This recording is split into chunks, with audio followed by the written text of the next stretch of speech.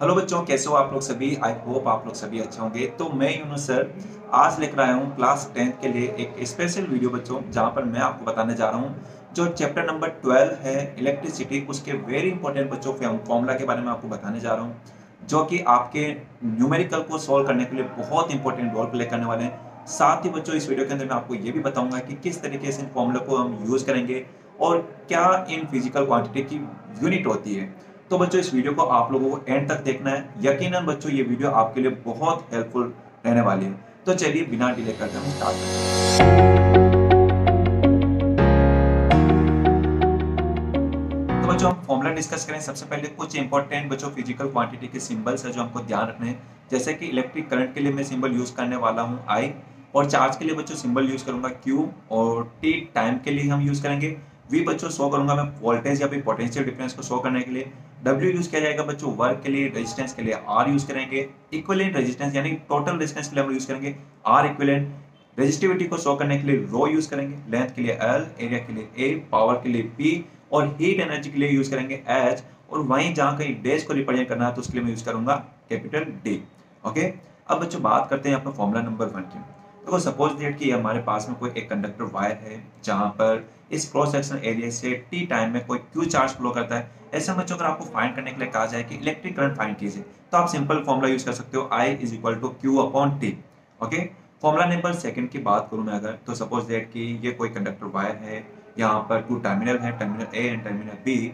और terminal A से अगर क्यू चार्ज को टर्मिनल बी तक ले जाने बच्चों अगर आपको डब्ल्यू वर्क डन करना होता है और वी फाइंड करना है तो ऐसे हम यूज़ करेंगे W upon Q okay formula number third की बात करूँ तो सपोज़ दैट कि रजिस्टर आर है, जहाँ पर आई करंट फ्लो कर रहा है, और ये जहाँ पर बच्चों टर्मिनल ए और टर्मिनल बी के बीच में, अगर आपको पोटेंशियल डिफरेंस यानी कि वोल्टेज वी अगर आपको फाइंड करना हो तो हम ऑम्स लॉ से फाइंड कर सकते हैं बच्चों, जहाँ पर फॉर्मूला बनता है V equal to I R भी फाइंड कर सकते हो R equal to V upon I फॉर्मूले से।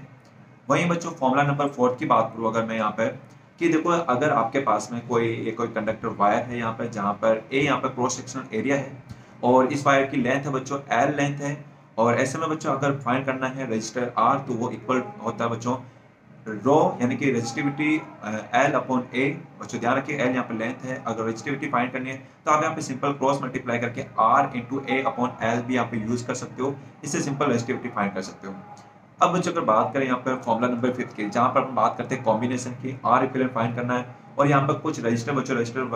resistor R one R two R three इन तीनों को हम बच्चों, हमने सीरीज़ कॉम्बिनेशन में इसको कनेक्ट किया है। और ऐसे बच्चों को फाइंड करने के लिए कहा कि टर्मिनल ए और टर्मिनल बी के बीच में यहाँ पर आर इक्वलेंट यानी कि टोटल डिस्टेंस फाइंड कीजिए तो बच्चों, हम फॉर्मुला यूज़ करते हैं। R equivalent equal to R one plus R two plus R three and so on बच्चों, अगर और भी रजिस्टर होते हैं तो हम और कनेक्ट कर देंगे और सिंपली एड कर देंगे। सिक्स बच्चों कुछ रजिस्टर है जिनको हमने कनेक्ट करते हैं पैरेलल कॉम्बिनेशन यानी कि resistor R one R two और आर थ्री ये थ्री रजिस्टर बच्चों तीनों को हमने टर्मिनल ए और टर्मिनल बी के बीच में बच्चों, हमने इसको पैरेलल कॉम्बिनेशन किया है। ऐसा बच्चों, अगर आपको फाइंड करने के लिए कहा जाए कि टोटल रेजिस्टेंस फाइंड कीजिए आर इक्विवेलेंट तो बच्चों सिंपल फॉर्मूला है one upon R equivalent is equal to one upon R one plus one upon R two plus one upon R three अगर और भी रजिस्टर होते हैं तो हम यूज़ कर लेंगे one upon R four R five okay formula number fifth very important बच्चों, ये भी हमारे लिए। देखो, कि सपोज़ दैट कि ये कोई वायर है, जहाँ पर बच्चों पोटेंशियल डिफरेंस आपको गिवन है वोल्टेज भी गिवन है, और टर्मिनल ए और टर्मिनल बी के बीच में अगर आपको ये भी मालूम है कि अगर आई भी गिवन करंट आई गिवन है, और ऐसे में बच्चों पावर फाइंड करना है तो सिंपल फॉर्मूला यूज़ कीजिए, P equal to V into I okay V यहाँ पे वोल्टेज है यहाँ पे। अब हम चाहते हैं, जानते हैं ओम्स लॉ से V equal to I R होता है तो वी की जगह आई आर पुट करके फिर आई को आई से मल्टीप्लाई करके, बच्चों, हम एक पावर का नया फॉर्मूला बना सकते हैं, जो कि होगा P is equal to I square R बच्चों, जो कि बहुत इंपॉर्टेंट बच्चों, ध्यान रखिएगा ओके आप चाहो तो बच्चों, यहाँ पर आई की जगह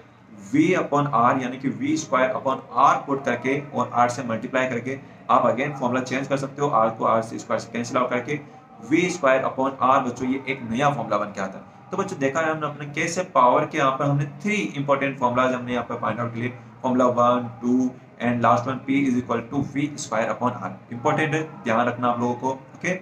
फॉर्मूला नंबर सिक्स की बात करें तो अगेन बच्चों, यहाँ पर यहाँ पर कोई वायर है, जहाँ पर रजिस्टर आर गिवन है, और यहाँ पर करंट आई फ्लो करता है टी टाइम के लिए फ्लो करता है, ऐसे में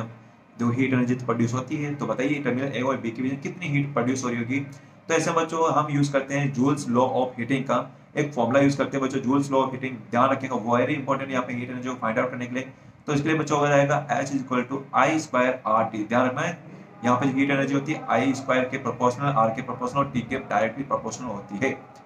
ठीक है, ध्यान रखोगे आप लोग? चलिए। अब देखो बच्चों, अगर कोई रजिस्टर आर है और वहाँ पर पोटेंशियल डिफरेंस वी गिवन है टर्मिनल ए और टर्मिनल बी के बीच में, और कोई क्यू चार्ज बच्चों फ्लो कर रहा है, ऐसा में आपको फाइंड करना हो हीट एनर्जी फाइंड करना। ध्यान रखना, इसमें न्यूमेरिकल भी है तो डायरेक्ट आप फॉर्मुला यूज़ कर सकते हो S is equal to V into Q direct formula use करना V equal V multiply Q और हम हीट एनर्जी फाइंड आउट कर लेंगे। वही बच्चों, जब बात की जाए घरों के अंदर, जो भी हम अप्लायंसेज यूज़ करते हैं ऐसे में कितनी इलेक्ट्रिकल एनर्जी हम कंज्यूम करते हैं, उसको फाइंड करने के लिए यूज़ करते हैं। Electrical energy consume is equal to बच्चों मल्टीप्लाई बाय मतलब इज़ इक्वल टू यहाँ पर बच्चों यूज़ करेंगे नंबर ऑफ़ अप्लायंस कितने अप्लायंसेज यूज़ कर रहे हैं, फिर हम उसको मल्टीप्लाई करेंगे। पावर से बच्चों, यहाँ पे ईच अप्लायंस कितना पावर का है, उसको यूज़ करेंगे। और ध्यान रखना बच्चों जो यहाँ पर आपको यूनिट यूज़ करनी है पावर की वो किलो वाट में करेंगे। अगर नहीं गिवन है, अगर पावर वाट में गिवन है तो हम थाउज़ेंड से यहाँ पर डिवाइड करेंगे और डिवाइड करके बच्चे बच्चे हम इसको कन्वर्ट करेंगे किलो वाट में। और टाइम आवर से भी मल्टीप्लाई करेंगे। अगर डेज़ गिवन है तो हम डी से भी मल्टीप्लाई करेंगे। ओके ध्यान रखोगे? अब इसके बाद में बच्चों यहाँ पर लास्ट है, यहाँ पर फॉर्मूला जो कि एक रिलेशन को बताता है कि जो इलेक्ट्रिकल एनर्जी कंज्यूम की हम बात करें ना बच्चों, इसकी यूनिट होती है किलो आवर ध्यान रखना, ये कमर्शियल यूनिट है कमर्शियल यूनिट है इलेक्ट्रिकल एनर्जी की किलो आवर आप चाहो बच्चों इसको इक्वल टू वन यूनिट भी ले सकते हो, जो करो में हम वन यूनिट यूनिट कर यूनिट जो हम यूज़ करते हैं, वो वन किलो वाट आवर की इक्वल होती है इसको आप जूल में भी कन्वर्ट कर सकते हो three point six into ten to the power six joule बच्चों ये ध्यान रखना वेरी इंपॉर्टेंट अब देखो बच्चों यूनिट की हम बात करें तो यूनिट तो इंपॉर्टेंट रोल प्ले करते ही यहाँ पर। तो सबसे पहले हम बात करते हैं चार्ज के बच्चों। चार्ज यानी क्यू की जो यूनिट होती है, वो होती है गुलाम करंट आई की बात करो तो इसकी यूनिट होती है बच्चों एम्पियर और इसको हम फाइंड आउट कर सकते हैं मतलब मेजर कर सकते हैं एमीटर से। पोटेंशियल डिफरेंस वी या वोल्टेज वी की होती है वोल्ट और वहीं बच्चों बात करते हैं यहाँ पर रजिस्टर्स मतलब डब्ल्यू की वर्क की वजह से कहीं पर वर्क गिवन तो उसकी यूनिट होती है जूल वर्क हो एनर्जी हो, कोई भी एनर्जी तो उसकी यूनिट जूल होती है। रेजिस्टेंस की बात करें तो ओम स्पेसिफिक रेजिस्टेंस मतलब कि अगर हम रजिस्टिविटी की बात करें तो यह होती है बच्चों ओम मीटर होती है यहाँ पर ओके वहीं बच्चों अगर अपन बात करें यहाँ पर हीट एनर्जी की वजह कहा ना कोई भी एनर्जी हो तो उसकी यूनिट होती है जूल और यहाँ पर बच्चों का नेक्स्ट अगर बात करें यूनिट की हम यहाँ बात करते हैं यहाँ पर पावर की बच्चों की। पावर की यूनिट की बात करें तो वाट है ना जेम्स वाट जो इन्होंने स्टीम इंजन को फाइंड आउट किया था मतलब डिस्कवर किया था, उन्हीं के नाम से यहाँ पर पावर वाट यूज़ करते हैं। कमर्शियल यूनिट पूछ ले अगर कमर्शियल यूनिट पूछ ले पावर की तो हम यूज़ करते हैं बच्चों किलो वाट एनर्जी की बात करें commercial unit of electrical energy बच्चों जो हम यूज़ करते हैं तो वो होगी बच्चों यहाँ पर किलो वाट आवर अभी जस्ट बताइए ना kilo watt hour is the commercial unit of electrical energy तो ये हो गए बच्चों हमारे फॉर्मूले कंप्लीट तो बच्चों, अगर ये वीडियो अगर आपको पसंद आई तो ज़रूर इस वीडियो को आप लोग लाइक कीजिए और आपके जो फ्रेंड है, उनके साथ में शेयर कीजिए ताकि वो भी इस वीडियो का बेनिफिट उठा सके, ओके? तो बच्चों, आज की वीडियो में हम इतना ही करते हैं। बाकी मिलते हैं नेक्स्ट वीडियो में। Okay bye bye and take care.